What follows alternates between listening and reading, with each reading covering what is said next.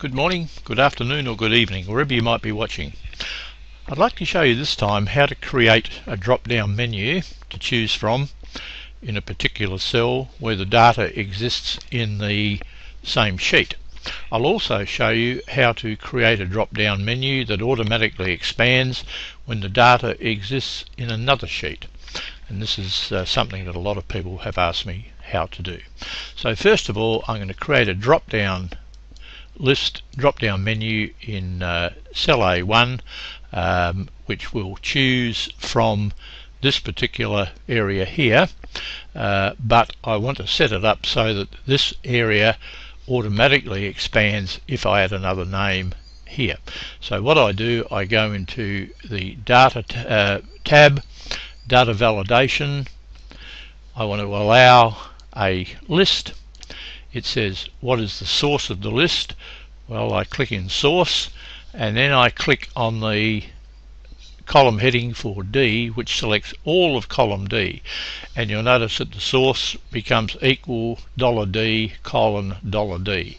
Now when I click OK I can choose from the names in the list. I might choose uh, Harry for example.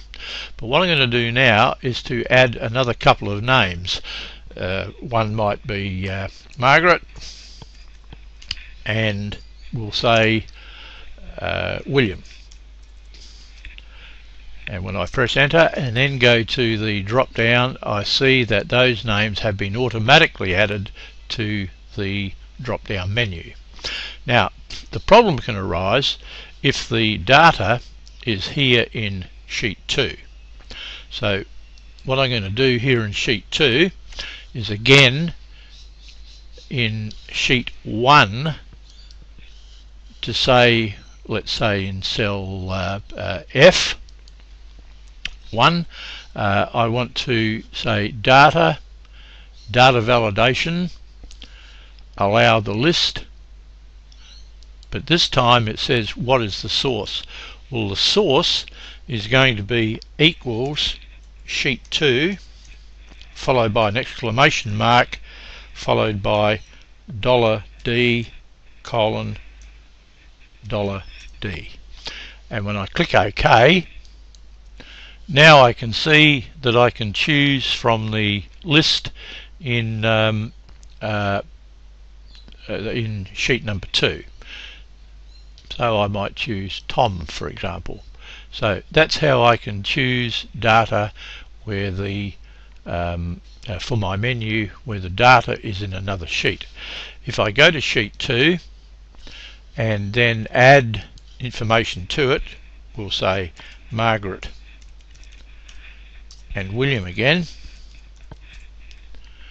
and press enter.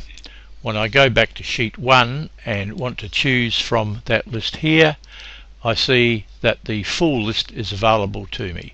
So the key remember to the whole thing is in data data validation and if you want to choose the data in one sheet uh, for your menu where the data is in another sheet then you just need to type that little formula in there. Of course depending on which column that the information is in in sheet 2 so hopefully that's explained that to you.